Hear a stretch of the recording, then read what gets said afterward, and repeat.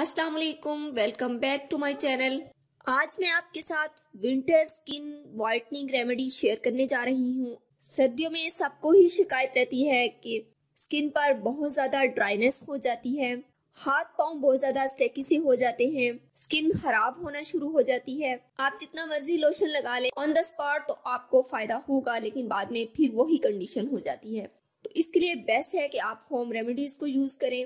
इससे न तो आपको कोई नुकसान पहुंचेगा, बल्कि फ़ायदा ज़रूर होगा। और मैं आपको ऐसी होम रेमेडीज़ बताती हूँ जो आपके किचन में आसानी से अवेलेबल होती हैं।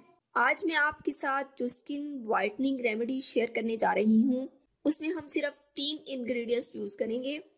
वो आपके किचन में आसानी से अवेलेबल होंगे। सबसे पहले आपने ल्यूक वार्म वाटर लेना है, यानी नीम गर्म पानी लेना है, उसमें वन लेमन आपने सुकीज कर लेना है।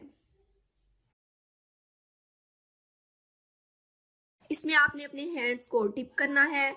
इसके बाद आपने किसी टॉवल से हैंड्स को साफ़ कर लेना है। इसी तरह आप पाँव और चेहरे पर भी अप्लाई कर सकते हैं इसको। इसके बाद हम अपनी रेमेडी की तरफ़ आते हैं। एक चम्मच आपने दाल मसूर का पाउडर लेना है। ये आपकी स्किन को वाइट लुक देने में बहुत इफ़ेक्टिव है। दूसरा इंग्रेडिएंट हमें चाहिए वैसलीन। और थर्ड इंग्रेडिएंट हमें चाहिए अरके गुलाब।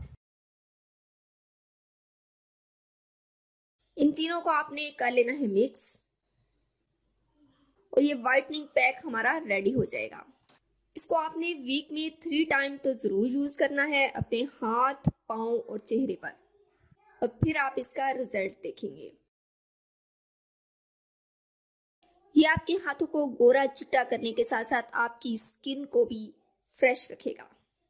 अगर मेरी वीडियो अच्छी लगे तो आपने ज़रूर इसको लाइक करना है। इसके साथ साथ अगर चैनल पे आप न्यू हैं तो चैनल को सब्सक्राइब ज़रूर करना है। इसके साथ जो बेल आइकन का बटन है, उसको भी आपने प्रेस करके रखना है। खुश रहें, दूसरों को भी खुश रखें। नेक्स्ट वीडियो तक के लिए अल्लाह हाफिज़।